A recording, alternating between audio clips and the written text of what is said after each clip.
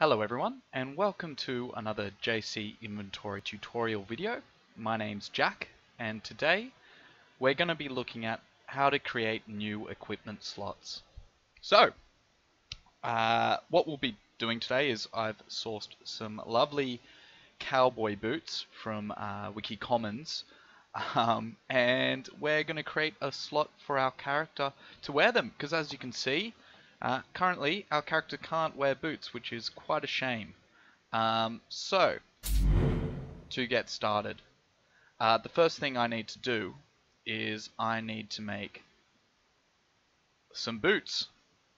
Um, so to do that I've actually got to create a new um, enum that will allow for uh, for a boot slot. So if you come into structs, this is kind of where all the data behind JC inventory is held, and you can see all the different data structs here. Um, come on down to slot type, and you'll see these are all our different selections that we can have for the slots, and you can add and remove these as you see fit. And that's exactly what I'm going to do right now. I'm going to add a new one and call it boots or feet. No, let's go with boots. Kind of like that more. Obviously, it's arbitrary. Uh, enums just refer back to a byte. They're just nice and clean for human eyes. Okay, so we've set that up. And now we need to make our item. I've maybe forgotten where I put my little boots. Probably in demo. Here they are. I'm going to right click and I'm just going to do it here because you know I'm, I'm probably going to delete it after the example but I'd probably want to put it in my item folder and put my texture somewhere that wasn't just smack bang in the middle of my project. Regardless, um, so to make a new item, uh, you can go through one of my other videos for more details on this. I'm just going to zip through it because it's not a very painful uh, it's not a very painful process. Uh, I'm going to make a child class of the JC inventory item and we're going to call it cowboy boots. Oh, it's the same name as my image. Let's call it BP cowboy boots. And that's that's better anyway, isn't it? Okay, we'll just save and compile. It needs a static mesh. I don't have one. We're just going to use an ammo box. So they're, maybe they're they're packaged. okay, and we've got to fill out the item data.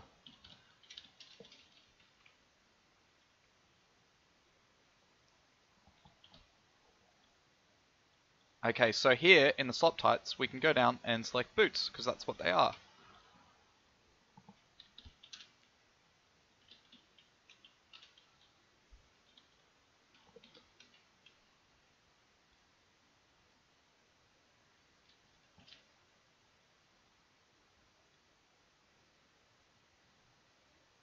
Okay. And we don't really need to worry about attributes, but uh, that will do. Okay, so that item's set up, and now we should be able to place them in the world and pick them up. There we go, we've got some little little boots. Now, clearly, that's not going to do us much good because according to our inventory system, we don't even have legs. So let's get on fixing that. Um, to fix that, you're going to want to go into the root folder of JC inventory then you're going to go to widgets. And then after that, you're going to go to the JC player equipment window. So this should look pretty familiar. Um, some of the spots are not propagated yet. Uh, for example, the uh, the items are propagated here and whatnot. Um, but you can come have a look and you can see we've got a few widgets. Um, in the hierarchy view here, you can see that they're just JC player equipment slots that have been placed there. There's no need for code here or anything like that. Um, you can just place them into the UMG uh, window and that's it, you're set up. Uh, so what separates them? Well, if we click them, we can see that they've got default values. Um, for example, armor has the slot type of armor, so only items with the enum set to armor will be able to be equipped there. Um, likewise, the primary slot here on, on our weapon area, secondary here, uh, and helm for the head. Um, so, it makes logical sense that we should probably just be able to go to user created and pull in a new player equipment slot. Do some formatting, maybe try to make it square. Hold on, probably easier to type this one. We'll call it 85 by 85, shall we? And maybe just just there. Okay, and now we need to fill out the information. So we're going to say only boots are going to be allowed in the boot slot. And technically that's all we need to do. The rest uh, actually doesn't uh, need to be public in terms of editing it uh, on the defaults menu. Um, but if we wanted to, we could give our slot a slot name. And the reason for this is, is surely the enum would be enough in most game cases. But I thought about it. Well, what if I have two torsos, or you know, maybe I've got four heads, you know, and each one of those heads could have a helm slot. How would I go about, you know, differentiating between the heads? And that's where the slot name comes in. It's a string, so it can be, you know, anything you want. Um, and and that way you can can work out what head and you know what or what you know 24th uh, 25th foot or whatever you want.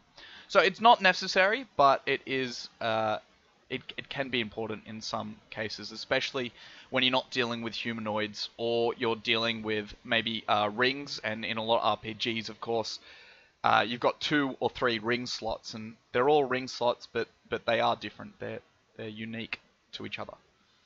Okay, so um, let's just call this um, legs. I don't know. That will do.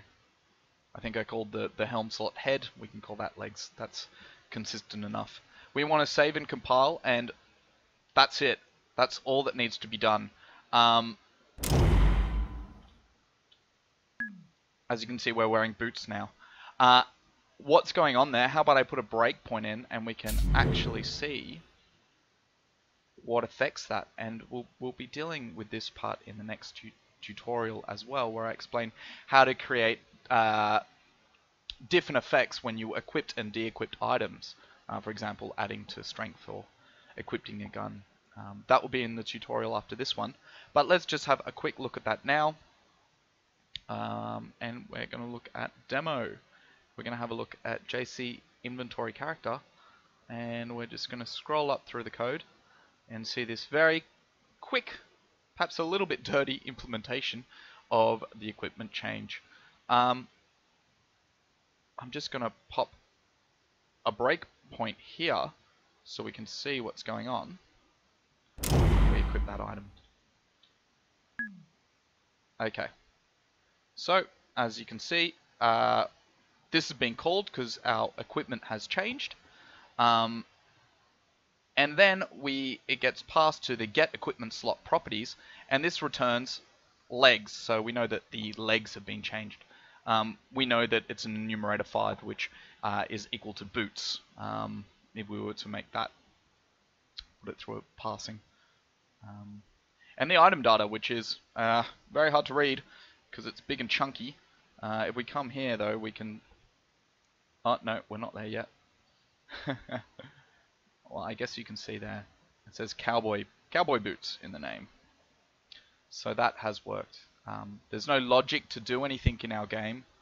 Uh, but we could add that logic. Perhaps they would... Um, how about in the next example we do some sort of an encumbrance system uh, and we'll we'll add up the the weight of the boots. Okay, that will conclude this video. I'll provide a link to the next video when it's available. Uh, and thank you very much. I hope that was helpful.